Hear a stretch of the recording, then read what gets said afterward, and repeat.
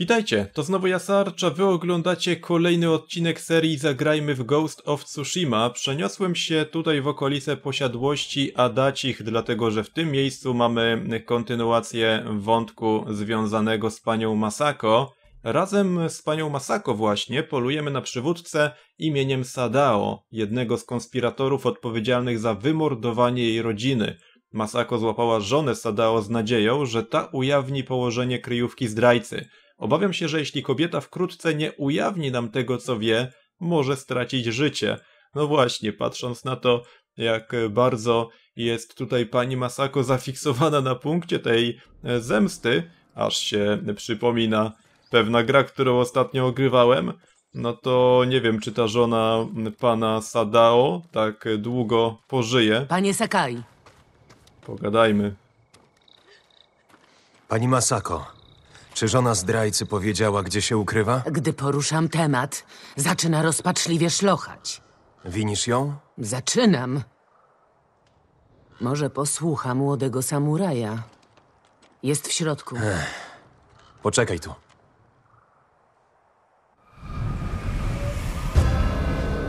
Może lepiej będzie faktycznie, jeśli to Jin się zajmie tą dyplomatyczną stroną. Porozmawiajmy w takim razie z Chiną. Jest w środku. Panie.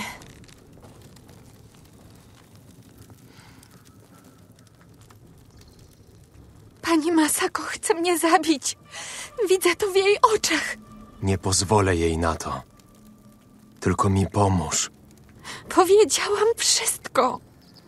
Haci przynosi listy dla twego męża, więc mają kontakt.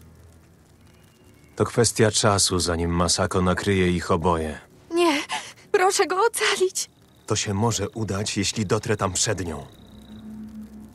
Dobrze go znasz. Gdzie może się chować? Niech pomyślę. Hino, to ważne. Twój mąż mordował niewinnych. Wrócę tu. Ciekawe, czy Jin faktycznie bierze pod uwagę takie rozwiązanie, żeby ewentualnie jakąś tutaj panią Masako powstrzymać, uprzedzić ją? No i? Czy może to bardziej taka właśnie dyplomacja? Dam jej czas, żeby sobie przypomniała. Co jej oferowałeś? Przejdźmy się. Znam miejsce, gdzie nas nie usłyszy. Faktycznie lepiej pogadajmy gdzieś dalej stąd. Powiedziałem Chinie, że postaram się uratować jej męża. Wiesz, że go zabiję, Musiałem zdobyć jej zaufanie. więc kłamałeś. Powiedziałem, że się postaram. I tak będzie. Co powiesz, gdy ci się nie uda, Dzinie? Że nie mogłaś wybaczyć tej krzywdy. A ja nie staję na drodze prawu. Gdziekolwiek nie spojrzę, widzę noc śmierci mej rodziny. No ciekawe podejście Gina w takim razie. Miałaś rodzinę przed poślubieniem pana Adaciego. Możesz tam wrócić? Mój starszy brat zginął kilka lat temu, a siostra zaszlachtowana przez zabójców. Rozpoznałam tylko złotą szarfę. Nie chciałem, byś musiała to wspominać. Zawsze o tym pamiętam. Powinna grać muzyka. Co? Moje wnuki śpiewały tu ze mną piosenki. Świętowaliśmy zmiany pór roku. Nigdy już ich nie usłyszę. O, my możemy zagrać. To pamiątka po twojej zmarłej matce. Mawiała, że dźwięki fleto potrafią zmieniać pogodę. No my już to wiemy.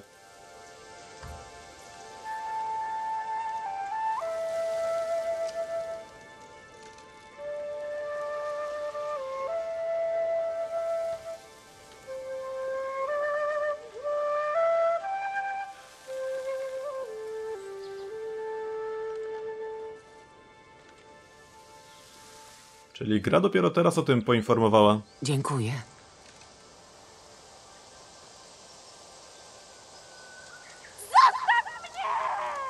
China! Ruszaj do domu! O nie. Kto ją tam zaatakował?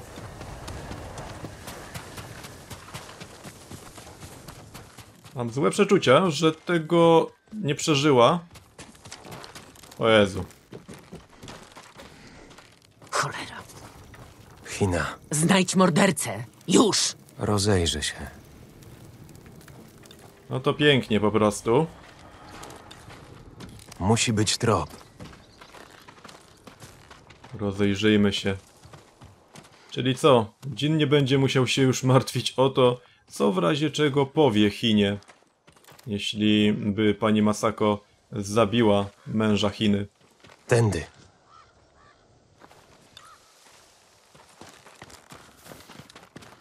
Ciekawe, kto to tutaj przyszedł. Pewnie obserwował posiadłość. Zobaczył, że odeszliśmy. I stało się, co się stało. Co widzieliśmy przed chwilą. Dlaczego ktoś zabił Chinę? Abyśmy nie znaleźli Sadao. Zdrajcy wiedzieli, że ją mamy. Od drwala był spory kawałek.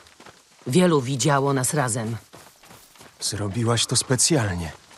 Miała być przynętą. Liczyłam, że zjawi się jej mąż. Trzeba mi było powiedzieć. Żebyś mnie powstrzymał? Obiecałem ją chronić. Dobry człowiek z tego Gina. Pytanie, czy nie za dobry, patrząc na to, co tu się dzieje. Tylko jedne ślady. Ktokolwiek ją zabił, jest sam. China nie żyje. Musimy go mieć żywego. Postarajmy się. W razie ewentualnego starcia, żebym tylko nie zapomniał o zmianie stroju. Okej, już tutaj widzę, że będziemy chyba walczyć.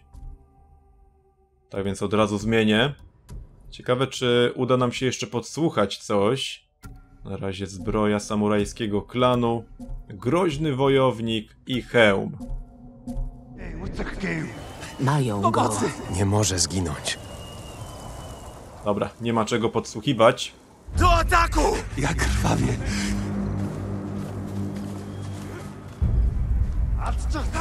Rana jest głęboka.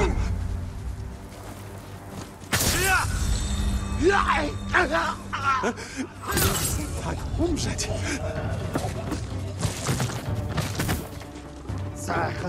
Ciekawe, że go tutaj dorwali. Pomocy!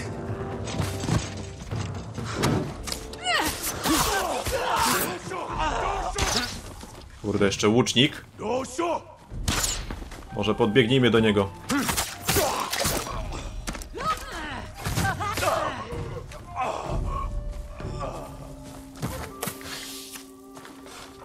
By było wszystko. Nie, nie ty! Musimy pogadać. Przykro mi. Hachi! Brat Sadao. Czemu zabiłeś Chinę? Próbowałem ją uwolnić. Nie słuchała. Chciała pomóc Sadao. Wołała cię. Nie, nie chciałem. Gdzie twój brat? Zawiodłem go. Ale nie zdradzę.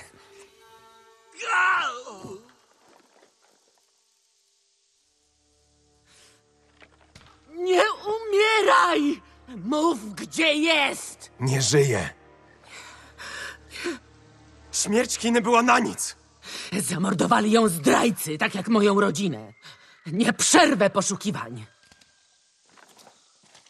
Nosił listy dla brata. Może jakiś miał. Co znalazłeś? Mapa należąca do Hachiego, brata Sadeo, zarządcy farmy Kuta. Zawarto w niej szczegółowe trasy pokonywane przez Hachiego. Mapę tras zaopatrzenia. Woził jedzenie dla uchodźców. Może Sadao się w jakimś ukrywa. Udaj się do najbliższego obozu i porozmawiaj z mnichem. Może odczyta coś ciekawego z mapy. Co z tobą? Pochowam Chinę. Zasługuję na to. Spotkamy się potem w obozie. No dobra, to chyba udamy się do tego obozu od razu. Wątek pani Masako jest naprawdę ciekawy. Interesuje mnie, czy ona się opamięta w pewnym momencie. Boję się, że wiecie, może jakiś błąd popełnić e, przez to, że tak bardzo chce śmierci tych ludzi. Nie mówię, że chcę ją przed tym jakoś bardzo powstrzymywać, ale żeby właśnie nie ucierpiały jakieś postronne osoby przy tym. Razem z panią Masako polujemy na przywódcę imieniem Sadao, jednego z konspiratorów odpowiedzialnych za wymordowanie jej rodziny. Pani Masako poprosiła mnie, bym porozmawiał z mnichem, który może wiedzieć, gdzie znajdziemy zdrajcę. No i za chwilę zobaczymy, gdzie to będzie. Tylko jeszcze dostaliśmy nowy talizman podwójnego zniszczenia. Ataki mają szansę 5% na zadanie podwójnych obrażeń. No, 5% to niewiele. I chyba na razie tego nie będę zakładał. Kolejna rzecz w takim razie. Aha, to jest ten obóz, w którym już byliśmy. No to w takim razie przeniesiemy się tam szybko. I patrzcie, właśnie tak jak mówiłem w ostatnim odcinku, jeśli gdzieś dalej się przenosimy, no to w trakcie korzystania z szybkiej podróży mamy też takie wskazówki na ekranach ładowania. Ogólnie te ekrany ładowania dość szybko mijają. Oczywiście Mamy znaleźć mnicha, który zarządza obozem. Może zdoła odczytać mapę, którą znalazłem przy bracie zdrajcy. Oczywiście czas ładowania zależy od tego, jak e, daleko się przenosimy, no ale ogólnie działa to całkiem sprawnie. I przy okazji tutaj do trapera można by było też się udać. Mamy już tego mnicha oznaczonego. Na razie go ominę. Tutaj też możemy porozmawiać. Znasz historię Tadajoriego, panie? Słyszałem o nim, ale nie pamiętam szczegółów. Wierzy się, że pancerz dawał Tadajoriemu ogromną moc. Gdyby wpadł w niewłaściwe ręce, doszłoby do katastrofy. Nie dopuszczę do tego. Chciałbym się czegoś dowiedzieć o tym pancerzu. Muzyk Yamato powinien ci pomóc. Spotkałam go w Azamo, przy rzece, za którą leży Tsutsu. Przypadkiem nie byliśmy w tych okolicach w ostatnim odcinku? W poprzednim sensie? No nie do końca. Tu jest na przykład po górze Azamo. No dobra, czyli jednak gdzie indziej, ale to są kolejne mityczne opowieści i tutaj też e, właśnie muszę pamiętać o tym, żeby sobie wypróbować częściej ten cios, którego się nauczyłem, ten niebiański cios, tylko trzeba pamiętać o tym, że on owszem jest niemożliwy do zablokowania, ale zużywa jeden punkt hartu ducha, więc warto wykorzystać na jakiegoś potężniejszego przeciwnika. Właśnie się zastanawiam, jak to jest e, z kolesiem z taką wielką tarczą. Czy od razu tym ciosem mogę go powalić, czy jednak najpierw muszę przełamać jego obronę. Możliwe, że konieczne jest to przełamanie obrony, ale będę to musiał ogólnie jeszcze sobie przetestować i sprawdzić. Teraz podejdźmy do trapera, dlatego że chciałbym sobie zwiększyć limit strzał, jakie mogę nosić przy sobie. Zechcesz skorzystać z moich usług? Owszem. Tutaj kunaj też. Za każdym razem 10 skór drapieżnika. No dobra, strzały zwykłe. Będzie 12 maksymalnie teraz. Znakomity wybór. Przykro mi. To niestety za mało. Będę musiał zapolować na trochę więcej zwierząt, żeby tych skór pozbierać. No ale na razie grunt, że się udało tutaj. Żegnaj. No i pogadajmy z tym mnichem. Do Moje zobaczenia. towary są skuteczne. Mamy go tutaj. Panie Sakai, dobrze cię widzieć. Dzionsin, mogłem się ciebie tutaj spodziewać. Jak mogę służyć, panie? Jak dobrze znasz tę ziemię? To ja założyłem wszystkie obozy. Ta mapa coś ci mówi?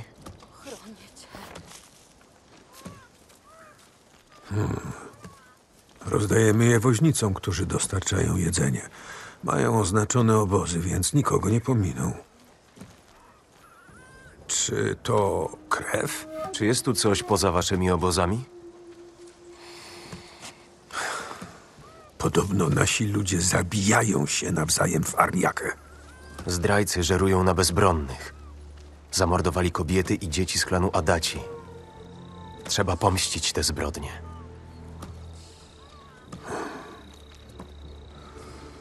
Ta mapa pokazuje latarnię Wariakę. Nie mamy tam obozów, ale podobno teren przejęli niedawno bandyci. Nie bandyci. Coś gorszego. Przybyła pani Masako. Chyba wolałaby pomówić z tobą. Byliśmy w tej latarni. Udamy się tam ponownie, co? Jakieś wieści? Przywódca wioski Kuta może być w latarni. Klan Adacich zbudował ją dla Ariake. Ten zdrajca nie ma wstydu. Sadao ma wielu strażników. Na pewno nas zauważy. I dobrze. Chcę, żeby ten zdrajca zdążył poczuć strach przed tym, co go czeka. Chodźmy.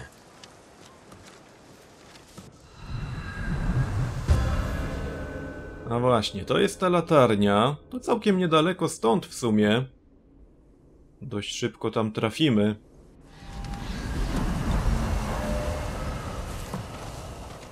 Sto osiemdziesiąt metrów zaledwie. I to właśnie w tym kierunku. No dobra.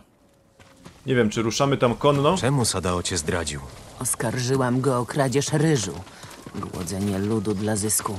Uważasz, że jego kradzież dotknęła Kutę. Nie mogłam tego udowodnić. Ale to była katastrofa.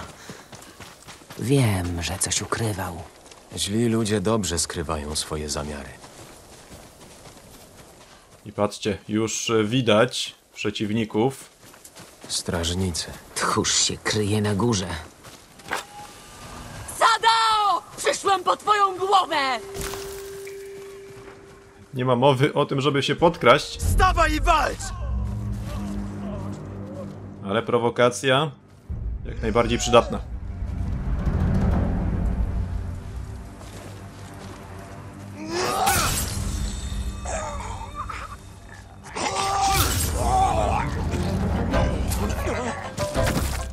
Czekam na kolejnych.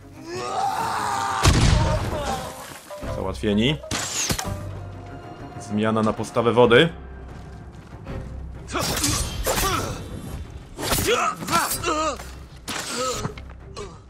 A teraz łucznicy.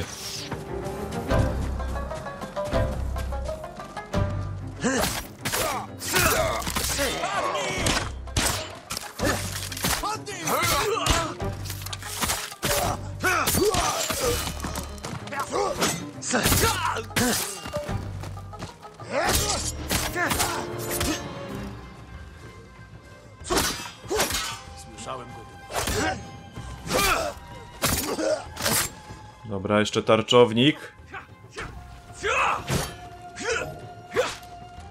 Kurde, trochę ich tu jest za dużo. Idealnie.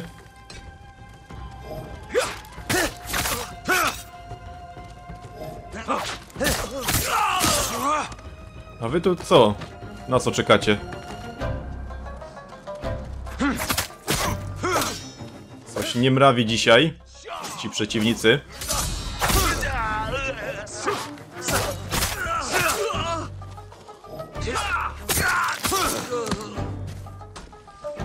Jeszcze jeden.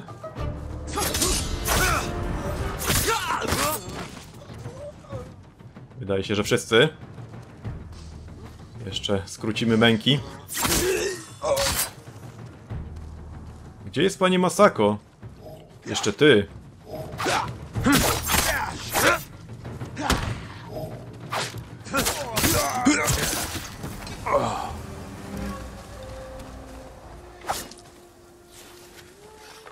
Wydaje się, że pani Masako już poszła do latarni. Upatrzcie, spotkaj się z Masako na szczycie latarni.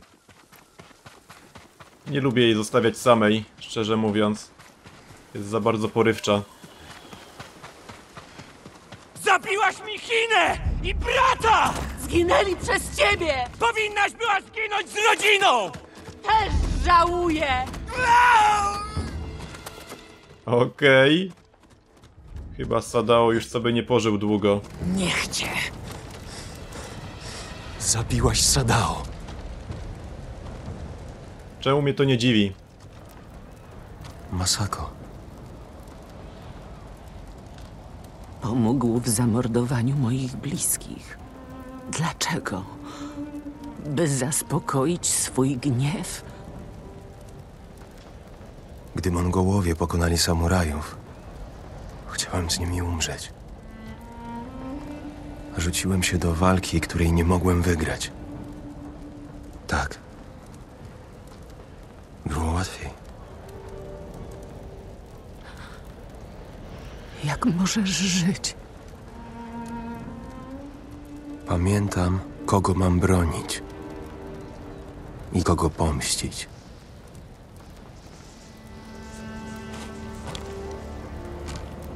Zdrajca nie żyje. Rozejdzie się wieść, że przetrwałam i poluje. Przestraszą się. Popełnią błąd. Uważaj na siebie, Masako. Ty też. Jesteśmy w tym razem. Znajdziemy innych zdrajców z tej listy, ale najpierw uratujmy mego wuja. Będę na farmie Kaneda, gdybyś mnie potrzebował.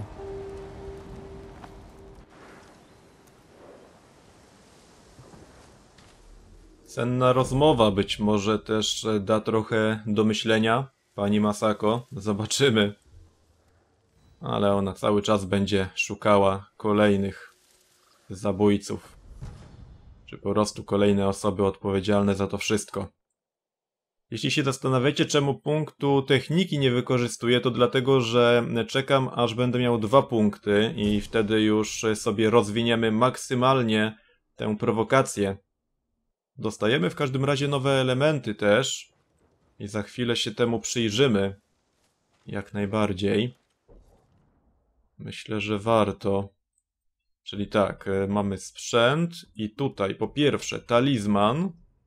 Talizman dzikości, średnia premia do obrażeń w walce w zwarciu. No, myślę, że coś takiego jak najbardziej bym chciał. Tutaj obrażenia od strzał, szybkość wykrycia. Dobra, może tego się pozbędę, bo i tak e, raczej unikam tych strzał, więc nie jestem trafiany. Bierzemy zatem talizman dzikości.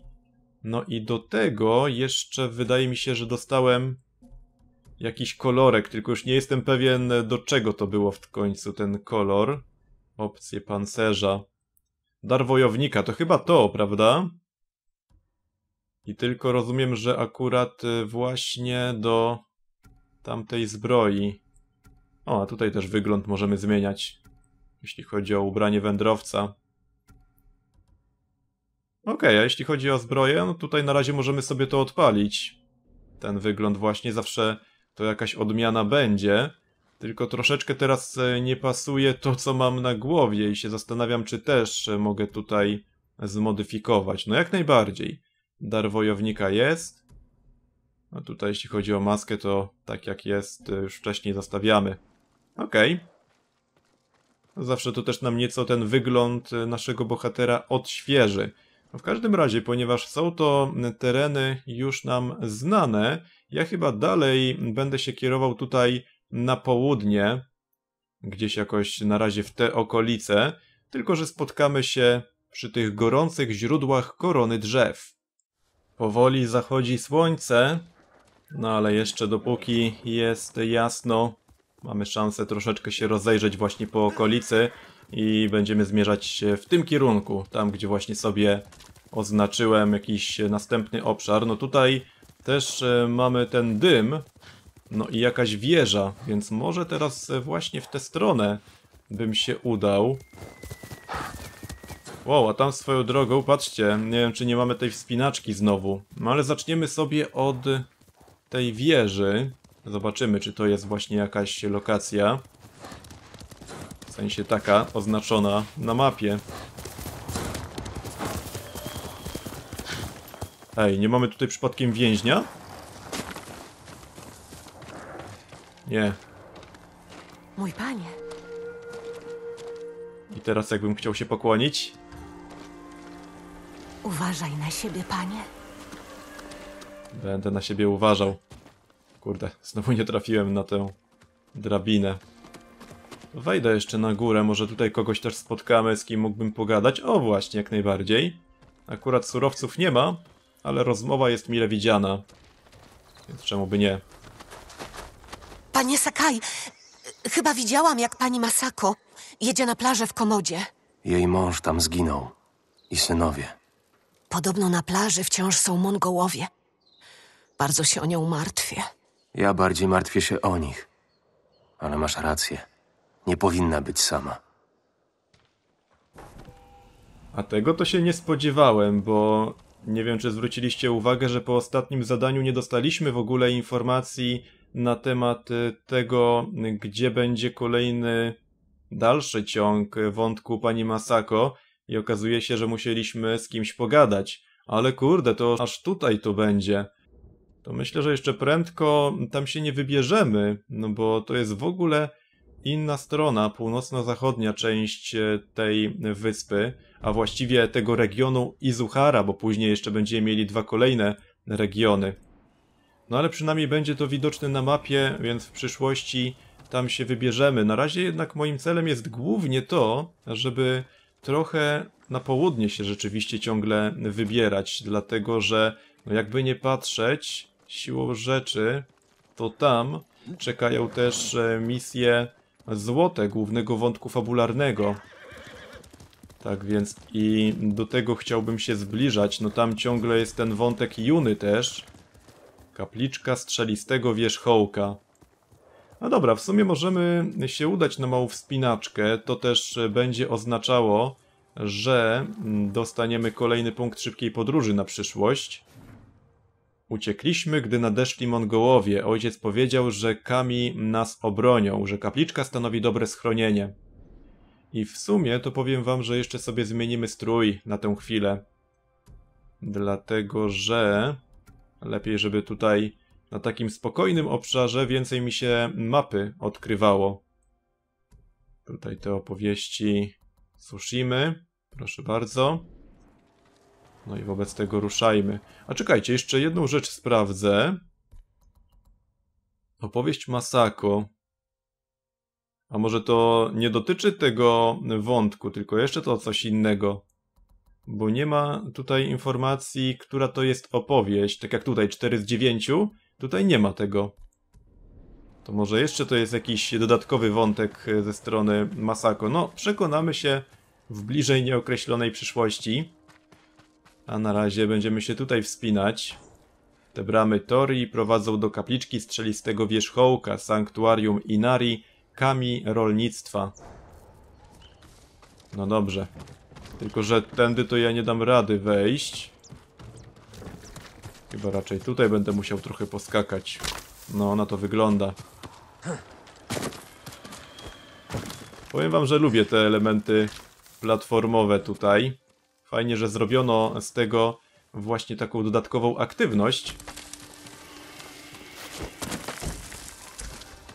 Są właśnie i takie, które pozwalają nam się troszeczkę w tej grze wyciszyć. Takie, gdzie mamy dużo walki, takiej ciągłej akcji. Ale jako, że te motywy platformowe w Ghost of Tsushima też dają radę, no to zawsze jest to fajna okazja. No i poza tym możemy popodziwiać widoki, jak się wspinamy gdzieś na górę.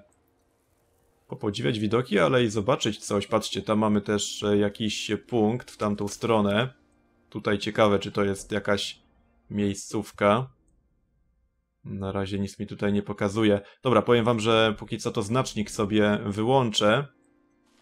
Żeby mnie tutaj nie dokoncentrował. A spróbujmy zamiast tego skupić się na tej wspinaczce.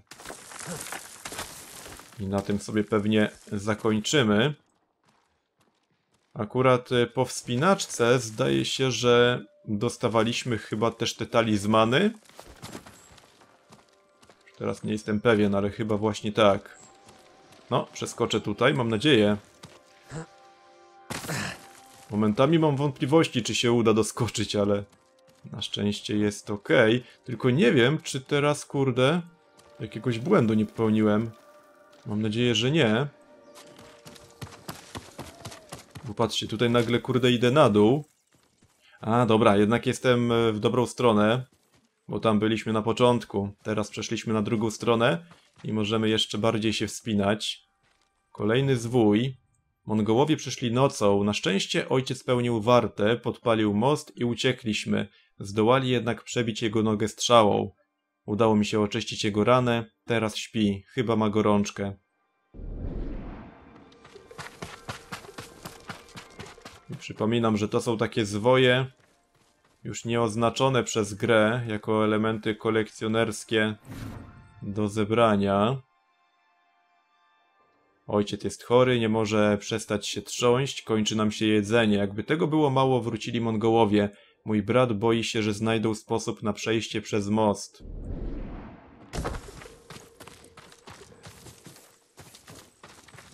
Wow, tutaj ciało. I to spalone chyba. No dobra, rozumiem, że z tej strony się nie wdrapie. Tam w ogóle można też drewno zdobyć. Ale to bardziej z góry chyba. Cho chociaż patrzcie, nie. Jednak chyba muszę tam się wspinać. Albo tędy. No bo tutaj zdecydowanie nie dam rady. Nie no, tędy muszę jak najbardziej. A pewnie tam na drugą stronę jeszcze się dostaniemy. Zaraz zobaczymy. Aha, to tak, w ten sposób.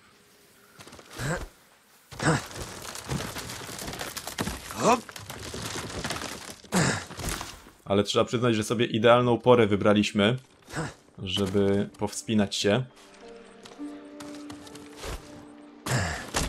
No i mamy drewno cisowe. Teraz na górę jakoś się jeszcze dostać. Okej. Okay. To tędy proszę.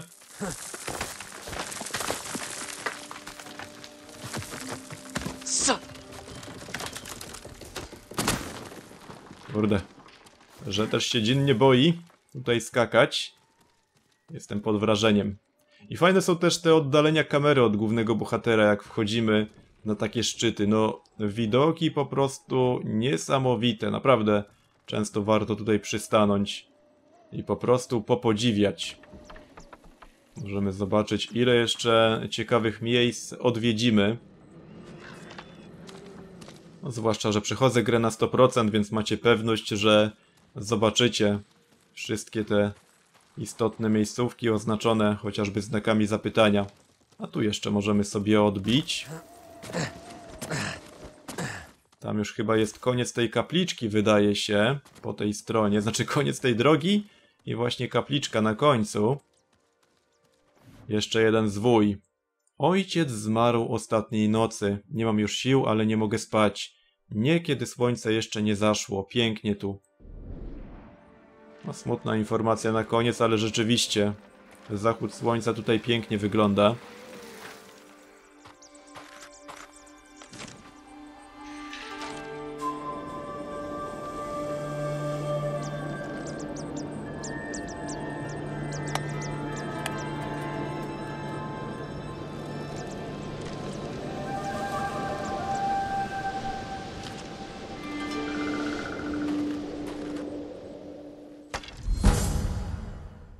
Talizman Inari, talizman Kami rolnictwa. Zwiększa liczbę zdobywanych zasobów skór drapieżników, bambusa i drewna cisowego. O kurde, to jest naprawdę warta uwagi rzecz. No to od razu bierzemy to. I patrzcie, w ogóle złoty talizman, taki większy, bo tutaj mamy te mniejsze. Są tylko dwa miejsca na większe talizmany. To jest właśnie jeszcze ten większy, ale tego akurat nie będę wybierał. No dobra, bo tam to było od skradania się. No to jest najważniejsze, to sobie zostawię chyba na całą grę dosłownie. Żeby więcej tych surowców zbierać. To nam się bardzo przyda. To powiem wam, że zapamiętajcie sobie to miejsce, jeśli sami będziecie grali. To warto się tu udać jak najwcześniej w takim razie. No i okej, okay. w tym miejscu rzeczywiście się z wami pożegnam. Jeszcze tylko rzucę okiem ewentualnie. Czy nie ma tutaj czegoś więcej, ale no, wydaje się, że nie. Przepiękny, przepiękny widok po prostu dookoła. Wprawdzie słońce już tam praktycznie zaszło. Zaraz się ściemni, no a ja będę musiał wrócić na szlak. Oczekujcie zatem na kolejne materiały Zostawcie kciuka w górę, jeśli ten film Wam się podobał i do usłyszenia następnym razem.